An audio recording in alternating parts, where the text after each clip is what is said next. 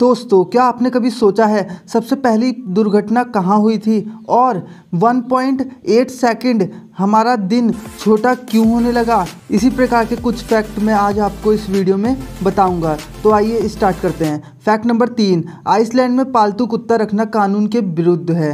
Fact number दो, सन 2011 में Japan में भूकंप के कारण पृथ्वी पर दिन 1.8 सेकंड छोटा हो गया है। फैक्ट नंबर एक, दुनिया की सबसे पहली कार दुर्घटना साल उन्नीस सौ उनहत्तर में हुई थी। उस कार को आज भी पेरिस में संभाल के रखा गया है।